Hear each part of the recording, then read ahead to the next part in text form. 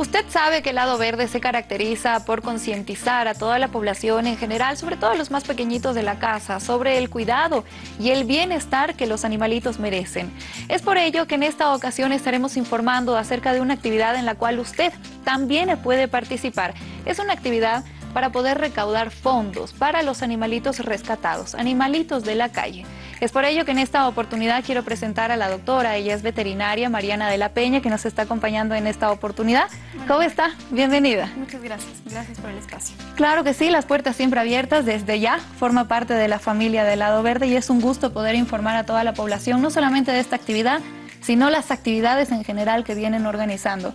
Es un refugio de animalitos, es un hogar transitorio para los animalitos que son rescatados de la calle, del maltrato, del abandono, entre varios factores. Y ahora se está haciendo esta actividad. Así es, te cuento que, bueno, con ayuda y apoyo del estudio de Leo, es un estudio de Zumba, están trayendo un zumbero internacional desde Suecia, súper famoso, el zumbero Flores, y bueno, él está viniendo a hacer una masterclass Em, esta masterclass está abierta a todo tipo de público, adquirir una manilla para entrar este día al evento por 50 bolivianos y lo recaudado de, de esta actividad pues va a beneficiar en cierto porcentaje a Villa Colitas, que es el centro transitorio de hogar temporal que tenemos para algunos animalitos rescatados de diferentes tipos de violencia, maltrato y abandono. Actualmente, Villacolitas, ¿con cuántos animalitos cuenta? Actualmente tenemos 21 perritos. 21 perritos entre hembras, machos, desde cachorros hasta adultos. Estos ya están eh, desparasitados, vacunados, esterilizados y listos para ser adoptados. También vale, la oportunidad pues para invitar a la gente que pueda conocerlos y verlos, porque en el momento en que sale un perrito en adopción, tenemos un vacante para que ingrese uno nuevo, uno nuevo que esté, sea rescatado o necesite el espacio temporal en el procedimiento donde se lo va a vacunar, esterilizar y va a entrar al programa de adopción.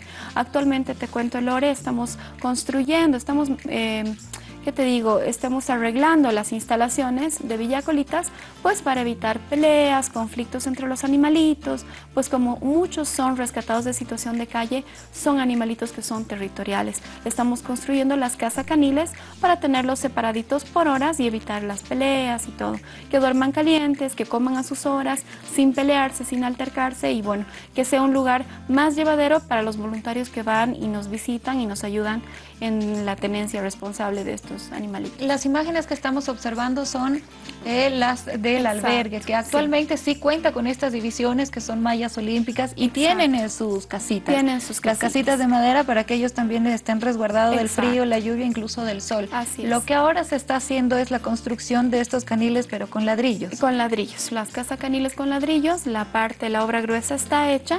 Ahora estamos eh, pues queriendo recaudar el presupuesto para hacer las puertitas de, de la malla olímpica, los techitos, son, son caniles bastante grandes, son de 3 metros por 3 metros, donde van a entrar hasta dos casitas y vamos a poder tener de dos en dos perritos. Eso es para que entren a dormir y bueno, resguardar su seguridad.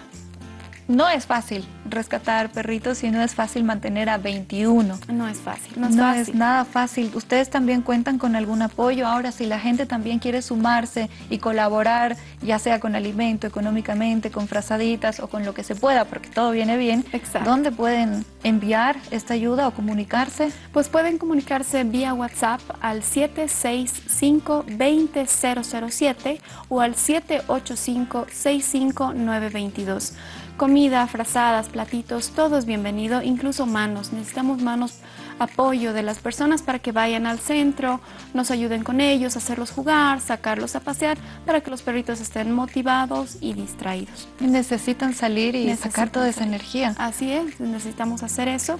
Te cuento, Lore, que el año pasado hicimos ya una rifa que afortunadamente nos ha permitido pues mantenerlos todo este año, ¿no? En cuanto a la compra de comidas, insumos, cubrir algunos gastos veterinarios, químicas sanguíneas, ecografías, curaciones, etcétera.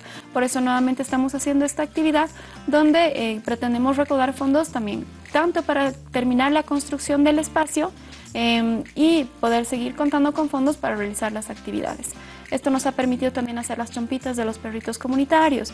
las verdes. las verdes, Que son más o menos de este color. De este color, ajá, que llevan una leyenda que es bueno para los perritos en situación de calle. Exacto, hemos estado colaborando con esa importante campaña. Ahora, eh, esta actividad es el 8 de septiembre, ¿vamos a bailar? Vamos a bailar, vamos a perder algunas calorías y bueno, a divertirnos, ¿no? Eh, va a ser en, el Coliseo del Colegio Loreto el sábado 8 de septiembre a horas 10 de la mañana.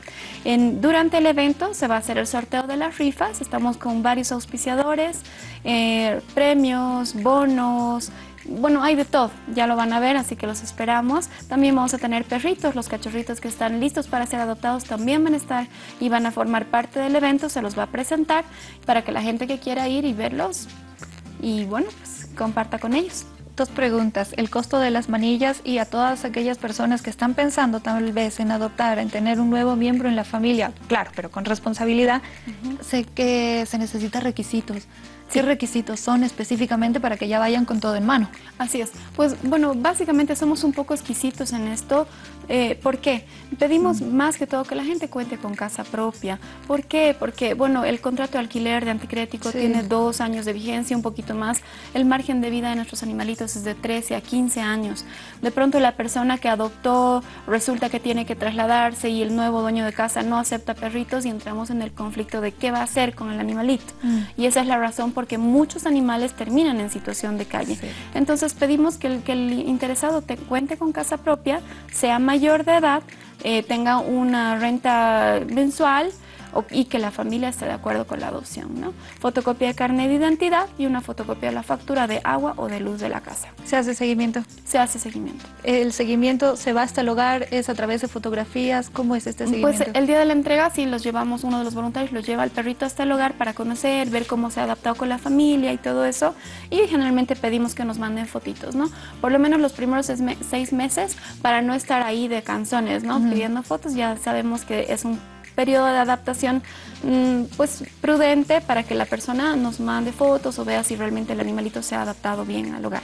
No son solamente estas actividades las que se realizan, sino se organizan eh, durante todo el año. Hacen diferentes actividades, diferentes lugares para poder beneficiar no solamente a los perritos que ahora están en Villa, Villa Colita, que son 21, sino a los que también necesitan que están en la calle actualmente. Sí, como comunidad animalera tenemos diferentes actividades, ¿no? Está la enchompada de invierno y la enchompada de verano por la época de lluvia, que son estas chompitas que las ponemos a los perritos en situación de calle. No podemos recoger a todos los perritos, lamentablemente, pero por lo menos tratamos de darles mejores condiciones de vida de dentro de su situación de calle, ¿no? Obviamente se observa que sean perritos que, que tengan las posibilidades de, les ponemos las casitas y hacemos la vacunación con la vacuna americana, tanto de la antirrábica con la octavalente. Tenemos los collares de comunitario que dice, eh, no tengo casita, eh, esta es mi zona de confort, si algo me pasa, llama a este número y nos llaman. ¿no? Nosotros tenemos monitoreados diferentes voluntarios a sus perritos comunitarios por zonas.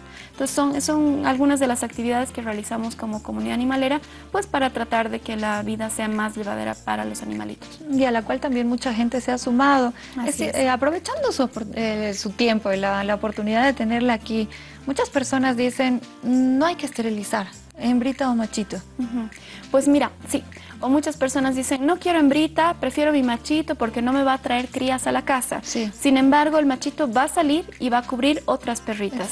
No solo sería el tema de que es muy importante la, la sobrepoblación de animales, que el perrito va a ir, va a cubrir una hembrita y la va a dejar preñada y van a nacer de 5 a 9 cachorritos en situación de calle, sino que nuestro perrito macho corre el riesgo de contagiarse alguna enfermedad de transmisión sexual como el tumor de sticker. Lo propio con las hembritas. Tenemos hembritas rescatadas con tremendo tumor de sticker en la vulvita, ¿no?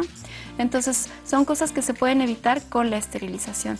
Hembrita, machito, es necesario ser esterilizado, no solo por la sobrepoblación, no solo por enfermedades de transmisión sexual, sino que a la larga, pasados los cinco años, estos animalitos son muy vulnerables y susceptibles de sufrir tipos de enfermedades que son ocasionadas por la presencia de las hormonas, tanto de las de los machos como de las hembritas. Biometras, en las hembritas prostatitis, en los machitos, cistitis y bueno, cosas más complicadas que bueno podemos evitarlo a través de la esterilización. Exacto. Actualmente hay una sobrepoblación canina que se registra entre La Paz y el Alto. Se calcula que serían un poco más de 400 mil perritos que están abandonados y esta situación y este sufrimiento a ellos se lo puede evitar justamente esterilizando y castrando. Entonces, eh, ya para finalizar, sábado 8 de septiembre a partir de las 10 de la mañana. Ajá, el Coliseo del Colegio Lorito. Perfecto. Entonces, una vez más la invitación. Pues por bueno, favor. los invito amigos, por favor sean parte de esta actividad, ayúdennos a ayudar. Cada manilla, cada compra de cada manilla en 50 bolivianos es una recaudación para nosotros. Tenemos las rifas también a 10 bolivianos. Son 10 pesitos que no nos hacen más pobres, pero ayudan a que comunidad tenga más recursos para seguir haciendo actividades. Nos pueden contactar vía Facebook, vía WhatsApp, los números que seguramente los vamos a poner a pie de pantalla. El número 7... 765-20007 o el 785-65922. Perfecto, muchas gracias doctora. Gracias Fue un gusto que nos esté acompañando y sin duda es una actividad en la cual puede participar la familia entera, puede pasar un sábado diferente, una mañana diferente, una tarde diferente y también estará colaborando con ese granito de arena. Ayúdenos a ayudar. Además, es importante que tomen en cuenta adoptar y no comprar. Pausa y ya volvemos.